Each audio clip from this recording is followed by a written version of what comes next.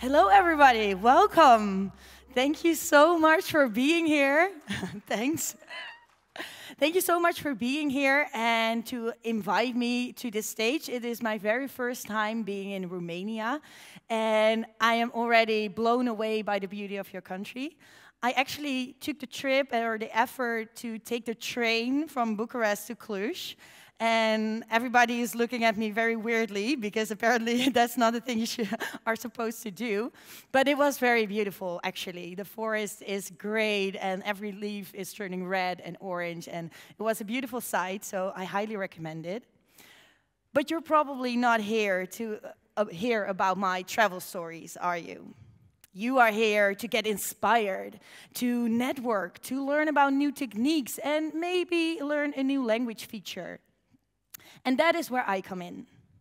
Today, we are going to talk about how your brain is wired and how you are learning new languages or new programming languages for that matter. And I can imagine that you're wondering, but who are you to tell us about this? Well, I'm Simone de Gijt, and I come from the Netherlands, where I graduated in 2015 as a speech and language therapist. So I have quite a different background than most of you will have. But directly after I switched to IT, I did a traineeship, and I currently work for Open Value Amsterdam, uh, where I work as a Java and Kotlin developer consultant. Now, today we are going to look on how your brain is working, and with every section of the talk, I'm going to give you some practical tools on how you can use that knowledge in your day-to-day -day IT practice. So hopefully, with all those tools, you can get the most out of today and let's get started. Before we really dive into how we are learning, we need to know where we save that knowledge, right? So we are going to start with how your memory is being stored. Now, I highly recommend you, you all got, I think, a goodie bag, and I think inside the goodie bag you will find a notepad and a pen. If you want, this is the time to take it out. I will get to it why this can be very beneficial in the process of learning. Uh, but you can also take out your phone, of course, whatever you like. All right, without further ado, let's go to Dory, our cute little blowfish from the Disney movie Nemo. We probably all have seen her before, and although she's very cute, she has one tiny problem. She forgets everything everything that's being said to her or that she experienced before, she immediately forgets it. So it kind of feels like the only thing that she can rely on is her short term memory. And short term memory can be compared in that sense to a RAM disk of a computer. It is a temporary storage where you can save a limited amount of data.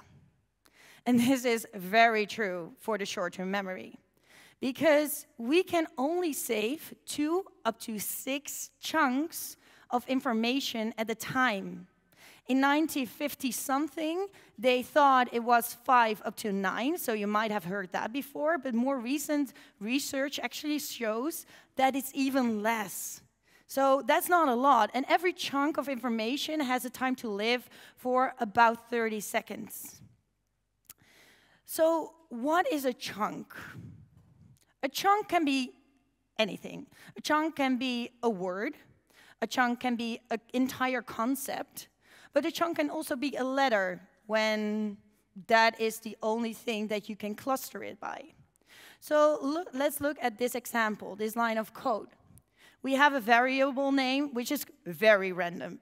It's even probably hard to pronounce because the letters are placed in an order which doesn't make sense. It's something that you will not stumble across, most likely. So because of that, you can already see that the letters are divided into separate chunks because we cannot cluster them together. The only thing that we can cluster is the O and the A because probably our brain will immediately treat that as the sound oo and take that together. Now, funny thing is that when we look at string, it hasn't been spreaded out, right? It is not S-T-R-E-N-G, because when we read it, immediately your brain is taking it up as one word because we all know that word. And that is why if we take, for example, this line of code, even though the line of code is actually longer, has more characters, it takes up less space inside our short-term memory. And that is, first tip of the day, why we should try to pre uh, prevent using abbreviations. Because abbreviations, most of the time, take up a lot of space into, uh, inside your short-term memory. Now, the second thing that we can learn is that when you're trying to learn a new language, try to look at the design patterns and start to use them. Because in this specific uh, example, if we are using the design pattern, okay, every time I create a variable name for, the for a Boolean type, I start with the verb is, then we could even remove the second chunk because Boolean is always connected to the variable is as a variable name starter, as a prefix. So we can already clean that up a little bit. Now, okay, there's only so much we can do when it comes to reducing the amount of chunks that we are using, right? We still kind of need something else. Right? Yeah, yeah, yeah, those are the tips. Get them, write them down. No. All right, so we need something else. We also need, and you will not be surprised, a long term memory. We need something that's a little bit bigger. So I have another Disney analogy for you. The elephants of Jungle Book. They swear that they will forget never anything, nada. And in that sense, a hard disk, or uh, a, I already told it, a long-term memory can be compared to a hard disk. It is a place where you permanently store data indefinitely, unless it crashes, but let's not go there. So indefinitely data storage and for a lot of data right?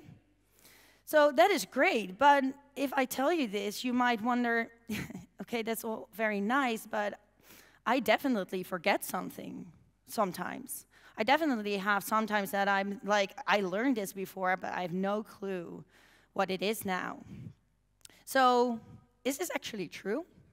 Well, best to compare it to a forest. Let's say, oh, it's a different slide. Cool. Okay, let's go. let's do this slide first. Okay, whenever we are seeing new objects, um, the first time we see it, there is no encoding whatsoever about the subject. There will be no long-term memory, so you will have no idea what this creature is. Now, the second time, you will have encoded it, so probably you know now, right? It's inside your long-term memory. But Probably not. It hasn't been consolidated. You haven't went over it enough of times. So you need to see it again. Again, you are encoding it. And then the third time you see it, or some other iteration, then at some point you will get consolidated and you can actually retrieve the long-term memory. And this is so cool because research shows that we don't forget things. The long-term memory is there. It's only the pathway leading to the memory that causes the issues. So now we go to the slide where I wanted to go with the forest. Nice. All right, the forest. You are standing in front of a forest. It is untouched. No human has ever been there. I can imagine in Romania that's actually a very good example because you will find some places where the forest is quite untouched. Now, you are standing in front of it and you want to walk through it. So the very first time you need to like get the branches out of the way, you make yourself a pathway. But when you revisit it the very next day, it's gone. You cannot find the path anymore because it uh, has already been overgrown. Only when you revisit that same path again and again, time after time, at some point it will get consolidated and it will be a paved path where you can actually, which you can actually see and retrieve. So that's a very cool thing. And actually, I'm so happy to tell you that you have a lot of knowledge. And we are here to learn on how to create those pathways. So, in order to know how pathways work, we need to know in what kind of structure the pathways are being built. And it's not a hierarchical structure, it's more a network structure. In this example, the white lines can be considered as the pathways. So the more pathways lead to a specific term, the easier it is for you to retrieve the knowledge. So let's take this as a blueprint. The person knows all these words and he wants now to learn a new word, tiger. Will it be easy for him to learn tiger? Yeah, probably. He knows a lot of other concepts that belong to the tiger. He has a lot of pathways. So the chances are pretty high that the next time he needs to tell somebody about a tiger, he can reach that information and that concept that he learned because he already got it more consolidated. He has got more hooks to get to that knowledge. If he wants to learn, for example, the word pigeon, like the bird, that would be a whole lot harder. He doesn't know about birds. Flying animals, you say? Never heard of that. Like, I know a penguin is kind of a bird, but doesn't fly. So that would be a lot harder. And you might notice that I put the colors in coloring. I didn't only do that for fun. I did that because the network structure you see here is not only consisting of words, it's actually a network of all your senses. So the colors you see there, probably when you think of a tiger, you don't think of the words black and orange. You probably visualize the colors orange and black. You know the colors by the sight of it. So whenever you want to learn, for example, a dolphin, it makes a lot of sense to add a picture of a dolphin or go to the zoo and view a dolphin because every sense will get its own hook, will create an own pathway which will make it more consolidated. So as you can see, it will create new pathways. And that is what we call in linguistics, oh yeah, Great, another tape. That is what we call in linguistics contextual association.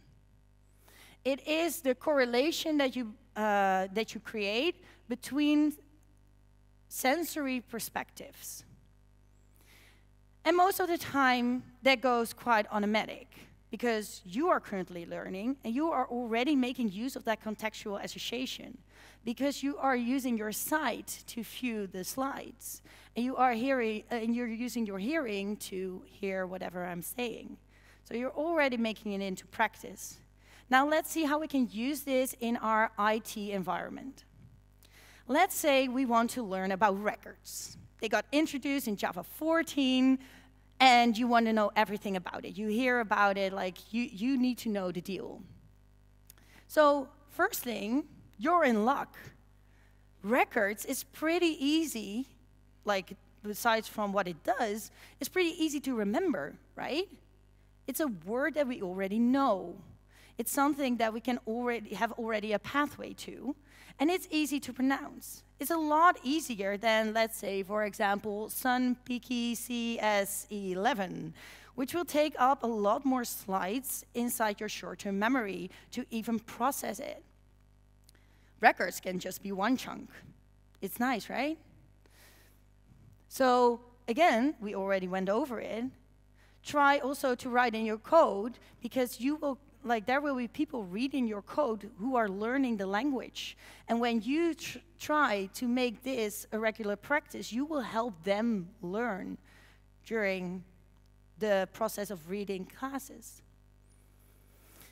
So we are already in luck. It was a very easy word to hear phonetically and to place some hooks on. So now we can move on. We can look at the meaning and the grammatical rules of whatever a record does.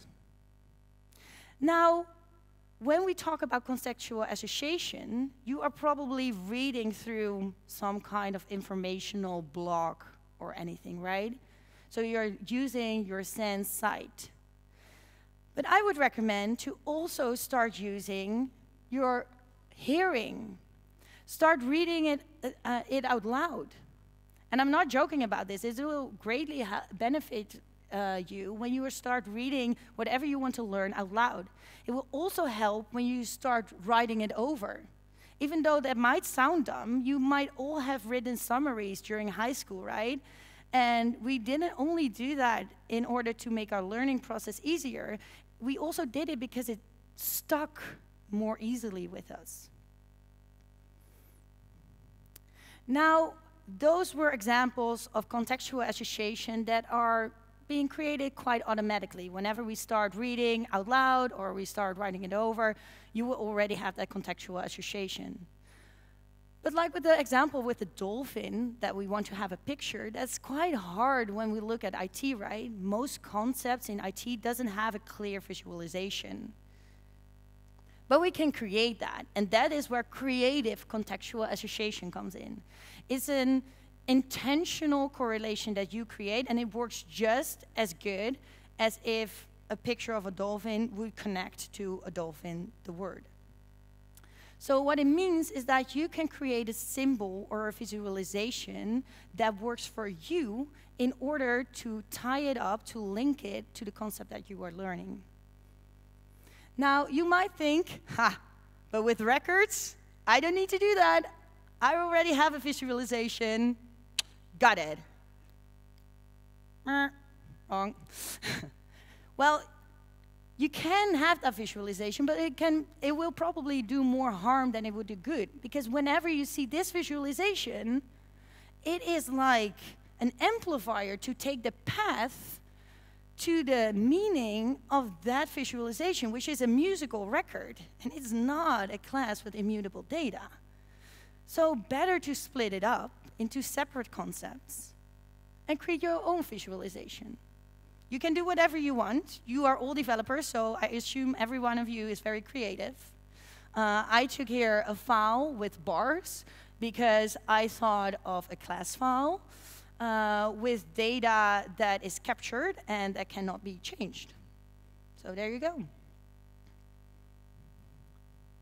And you can do whatever you like. You don't even have to tell your colleagues that you're doing this if you don't find it cool or anything. But to be honest, I think it's pretty cool if you take like ownership of your own learning curve. So own it. You can definitely get away with it, I would say. Now let's move on to learning from kids. And why do I want to talk about that? Because kids learn without thinking about it, right? Whatever they do, it's naturally. They don't have learned any learning techniques, they just do. And that is why I love to look at them to see how we can incorporate the way they learn to our day to day practice. Well, I don't know. Can I see some hands? Who has children? Okay, okay, half. Almost.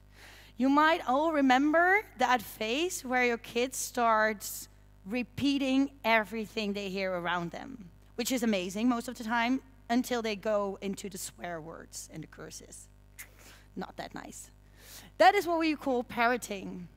And we also do it almost daily.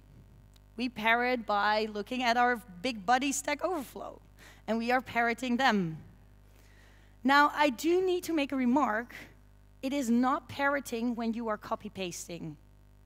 Copy pasting is a passive way of learning. I am assuming here that you actually read the Stack Overflow blog before copy pasting it, but still you are just taking the information and dropping it out there. Whereas parroting is an active way of learning. It is you got something, you heard something, and you are using it in your own practice. So if you want to use that in an IT environment, instead of copy pasting it, put your Stack Overflow on the left side, put your code editor on the right side, and type it out. Just start typing it over because you are then again making use of that contextual association and you are actively interpreting whatever is being said over there. Now, secondly, it is a lot of fun, the internet. I am very happy that we have it, uh, but a lot of information sticks around for a very long time. So if you go to a Stack Overflow post from five years ago with 100 likes, you are like, damn, that, that is a good solution. 100 likes, man, that must be a great solution. But it can very well be outdated. And if you take that as a truth, it can be that you are consolidating your pathway and that at one point that becomes paved and it's very hard to unlearn. So I would highly recommend also from your own learning curve because it makes sense to look at different situations to read at least three solutions. Look at different implementations, see if it's outdated, how other people use it, and then see what works for you. And that actually brings us to the second thing that children do. They try it out. They try it out. They keep saying, like, they, if they learned the word couch, for example, they will try it out and we say, hey, couch. That is a chair, right? It's not a couch. But they would just try it out because they need to feel it. They need to try it out in different situations to get their network structure that we just talked about more deepened, more structurized, more pathways. And that is all great. But it only works if someone corrects you, right? Again, when you keep saying couch to a chair and everybody's like, good for you, that's fine, just keep calling it couch, then at some point it will be very hard to unlearn that that's actually a chair. So find yourself a mentor or someone that can correct you. We are all learning all the time. If you, you and you probably know that because you're here on the Voxxed Days. I don't need to tell you that we keep on learning. So last but not least, for at least this part, is start easy. Kids are not starting with the word refrigerator. I even find it hard to pronounce. But they start with the easy words, right? The words that they hear the most. And that makes a lot of sense when we look back at our short term memory because we only had the six chunks.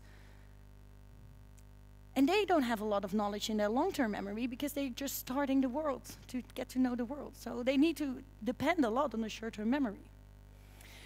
Now, I feel I forget something. We talked about memory storage, about short term, long term. But how does it actually end up there? Well, we have a working memory. And researchers are a little bit disagreeing on the fact if that is actually a separate entity or if it's part of the short-term memory. It's very indecisive. Some researchers say it's separate, some say it isn't. For this core or for this talk, I would like to treat it as a separate thing because I like the fact that it's split it up in storage and something like a process engine. It makes it more clear for me. Now, where the, conflict, uh, the confusion comes up is that because the working memory also only can hold two up to six chunks at a time. So you see the, the comparisons, right? Now, I think we all have had that moment where we were reading a class and we were right, like at that point where we we're like, I just can't get my head around it. It's just too much. And it's not even maybe that difficult, but I just, I need to write it down, or I need to find myself a rubber duck, or I need something to deal with my cognitive load. And cognitive load is the amount of chunks that you are using up in your, uh, in your working memory. And whenever the six chunks are being in use, and you want to use more, then you get cognitive overload. And you need to deal with that. Now, I have a tip for you. Automate the retrieval of your uh, long-term memory.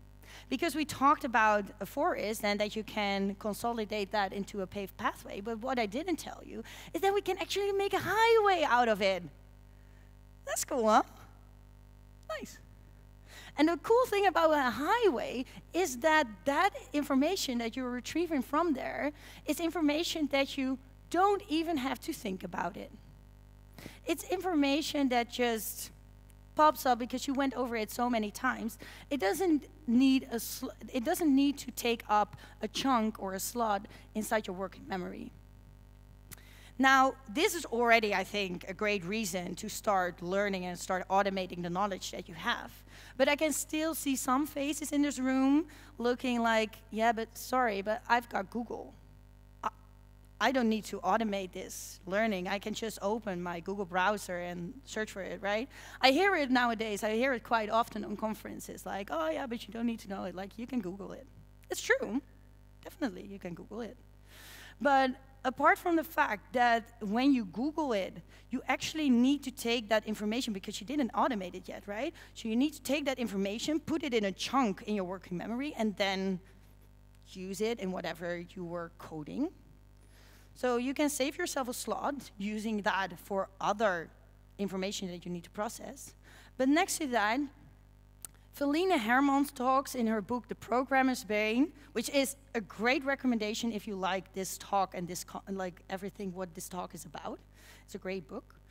She is saying that at least 20% of a developer's time is spent on interruptions. That's a day if you work 40 hours a week. That's a long time, right? And that, that percentage is actually increasing the last couple of years because of the use of Google and Stack Overflow. Because when we're in a coding flow and we need to get out of it and start Googling it, the chances are also pretty high that you're seeing other notifications. And at the moment that you are out of your flow, it takes at least up to 15 minutes to get back into the flow. So I hope I all convince you now that we want to build ourselves a lot of highways, right? To become an efficient and better programmer. Now, I have some tips on how to learn, how to automate that retrieval. And the very first thing I would recommend to you is think before you search. Think of it as that highway. You have two options. Either you stand before the, uh, for the road, it's not a highway yet, before the path in the forest, and you're like, I can't quite see it. I think I turn away and I'm going to Google for it. Or you can at least try. You can try to get over that pathway, and maybe you take a misstep. Maybe you don't reach the end, but at least you went over it again. You actively try to recall and try to clear the pathway that you already have. And now, whenever you are in doubt, I do highly recommend to, after you try to think of it, to Google it. Because, again, you don't want to have a wrong concept, right? You don't want to learn yourself a wrong concept and then later needing to unlearn it again. But first think, try it out. If you are thinking of a syntax that you don't know, try to write down the syntax as much as you know, and then Google for it. Now, the second tip is flashcards. Um, it can be compared, or at least like why I'm saying this, can be compared to learning language application Duolingo. I, I don't know how common it is in Romania. I see some people nodding. Okay, awesome. And the, the fun thing about Duolingo is that the lessons aren't specifically long. They are pretty short. You can do a lesson in five minutes. The whole thing is that it's about repetition and going over it most likely every day. And that is so well thought of because rather than spending a day or a week on a course and then not use it for a month. Rather take it slow and steady and learn something every day. Because if you are spending your money or your company's money on a course, let's say you're wanting to learn Kotlin, but you're not going to try it out in practice after that course, the memory will be there, like what I said, like you will not, like the memory will be in a long-term memory, but the pathway will be completely overgrown. You need to revisit it again and again if you want to make it a highway. Now, flashcards, the concept of a flashcard is that on one side you write whatever you want to remember, what you want to learn, and on the other side you write something to remember it by a visualization or a term or anything. So, for example, I have here Hello Voxxed, and I remembered that if I pronounce it right, it should be Buena Zia Voxxed in Romania. Is that right? Can somebody not? Yeah, okay, oh, pretty much. Thanks, pretty much. You're getting close. Okay, cool.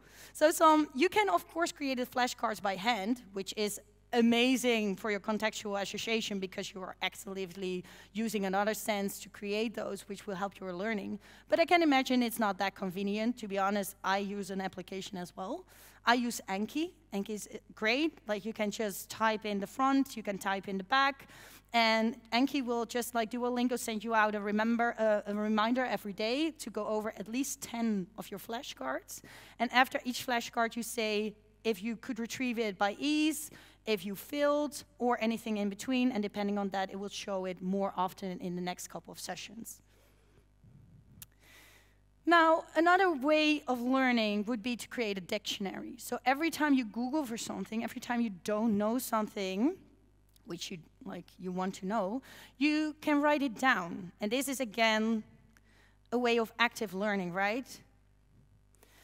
It's about mnemonics, different scenarios. Uh, you can write the pros and cons. You can make the visualization. We already went over it. It's a little bit more of repetition, but we just heard repetition is good, right? Okay, I need to, I need to check, sorry, how long I'm already speaking. Okay, yeah, we're going, okay. Thanks. sorry. Um, so, the last thing I want to go over is study time. Personally, I really like study time. I do it every Friday on 8:30 for half an hour. And the, the thing is that it works best if you pick a day every day the same day, every day, every week the same time, and preferably at the beginning of the day when you're still fresh. And here's where you combine different techniques. Again, you are going to try to work with those dictionaries. You are going to try to search for it, write down whatever you find valuable. You're going to think about how you can use it in different situations.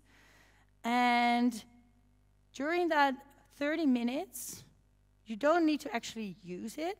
You are only going to create the pathways, to create the hooks. Where you are going to use it is in the week after. And what I would recommend is that every start of the day, when you have your planned work before you, you are going to think actively on how can I use this information in my day-to-day -day practice?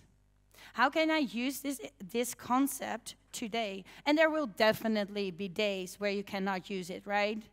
There will be days that you are learning about records and you are just not going to work with data classes. So, yeah, no, no use of actually um, practicing it out that day. And, but that doesn't matter. The whole thing is that you are thinking about the scenarios where you can use it. And because you are actively thinking about, can I use a record in this scenario, even though the answer might be no, you still consolidated it more because you have given it thought and you have given yourself a reason and more explanation on where it works and where it doesn't work. Now, after a week, you're going to evaluate. You are going to look back. It's, it's like the recall, the think before you search slide, right? Because you are going to recall whenever you used it the last week. And I recommend not writing it down during the week, but really try to recall it. Because that will, again, take you over that road. And then change your, whatever you wrote down in your dictionary before, change it accordingly. Maybe there was some situation where you haven't thought of before. Maybe you actually interpret something wrong. And then last but not least, fun part, explain it to others. Not only will it give you the satisfaction of the fact that you can be that you can be sure that you've learned something. It's also like a little bit of a test, right? Like, am I able to to explain this to somebody else? And if you are, then that will give you great satisfaction. But secondly, you are learning together. You are actually learning as a community. And that is why I love conferences like these as well so much because we are a community, right? We are doing this together and we can inspire each other. And by these kinds of exercises, we can trigger each other and maybe they have thought of situations where you didn't even think of. So that is the last part of my presentation learning together. Now, there is one small remark about learning together, especially when you're already a couple of years in the field. It's called the curse of expertise. And the curse of expertise means that you kind of forgot how you got at the level you are at now. The fact that you were a junior once and the fact that you had cognitive overload all the time is something that you blocked out of your memory. And you can become quite impatient for your juniors, like, oh, don't you get it? I just told you that. But maybe when you told him that, he was already out of his ch six chunks, and the information that you offered was the seven chunk, meaning it didn't end up in the long term memory. So be patient with each other, be humble, and try to remember that you once were in their shoes. And besides from that, talk about the new concepts. We already went over it a little bit with uh, study time, but by talking about new concepts, you are also validating your own perceptions, right? Am I actually right with this assumption? Maybe can, someone can correct you or can add something to it. Now, when you are in the process of learning together, you will come across a point where you need to give feedback, right? As a speech and language therapist, I learned that children don't like it when you tell them they are wrong. Yeah, they, they, they get also like, besides from the fact that they don't like it, they also get insecure about it. It's not nice to, to hear that, that you don't know stuff, right? And of course, we are all grown ups. Like, we can handle the negativity a bit better than most children can. Still, it can become quite a lot when you're new and you keep on hearing that you're doing stuff wrong. So, what we learned is that when a kid says, Hey, that's a towel, then we say, Oh, do you want to have the cat? Instead of saying, No, that's, that's not a towel. No, that's a cat. You see that, right? It's. We just repeat it, but then with the right term. And that is what we call indirect feedback. And you can also practice this when you're working with your colleagues and you want to, especially when they're junior. So whenever you have, for example, the junior gives you a merge request and you see 10 things that are up with it, you're like, oh man, where do I start? Instead of pointing all 10 out, pick one or two that are the most urgent. You can give direct feedback on that, of course. But keep in mind that they have a cognitive load and they are in, in the process of learning. So maybe the other eight, skip them for now and use your indirect feedback on it. So maybe in the next day, you are having yourself a merge request where you actually have an example of the right implementation and you're asking your junior, hey, can you maybe review my merge request? And then he's able to see the way in you actually created a change. And maybe afterwards you can even talk about it. You're like, hey, did you actually notice that I, I, I created this way? I saw that you did it the other way. Uh, why, why, why did you come to that solution? Not directly saying it's wrong, but just asking. why did why did you come to that solution? And of course, just as I said, we of course need to give direct feedback from time to time. Because sometimes it's just something that cannot move to the develop branch or the main branch or the master branch, whatever you're using, and you need to give direct feedback. And that's fine. Like you, you can do that. Just keep in mind to keep it a little bit like separate. Don't do everything at once. Um, and a you might have seen the feature on GitLab, suggested change. Who of you uses suggested changes? Okay, okay, yeah, a few, not, not that much. Um, I would recommend not using it. Don't use it. Because of the fact that when you are suggesting a change, you are taking away the possibility of that other person to actively learn. They can maybe passively learn, they can see your change and they can be like, oh, yeah, okay, that makes sense, and then approve. But by giving them the opportunity to actually take that information and writing it out themselves, it will be more consolidated. They are using multiple senses, they are trying it out themselves in different situations. There you go. Repetition, repetition, repetition, this talk, right? Nice. All right, so we are at the end. I hope that the cognitive load, that nobody is like cognitive overloaded at this point. Um, some tips or the key takeaways of today. Um, first of all, use your senses. Use multiple senses whenever you are learning. So if you go out today and you go to the other sessions, maybe write it down.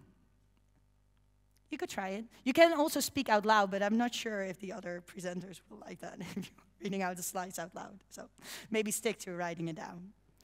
Um, actively apply whatever you are learning. Find someone that can correct you because we are all learning together and you don't want to unlearn something that is already very paved or even a highway later on. And automate your long-term memory retrieval because that will save you so much frustration and will become so you will become so much more efficient in your day-to-day -day practice. And how you can do that, you saw that on the slides. If you don't remember, that doesn't matter because um, I will get the slide deck for you out in a second. Um, you can, uh, what I said, use your notebook for today. You can maybe even install Anki right now and create your flashcards on the go. And if you don't like it, you delete the app by tomorrow. But you can try it out, right? It's fun. Now, some sources that I've used for this presentation, most of the things are coming from my own study times, uh, but up top is the book The Programmer's Brain from Felienne. It's very useful. And with that being said, I want to thank you so much, and I hope you have a very pleasant day and that you enjoy and learn a lot.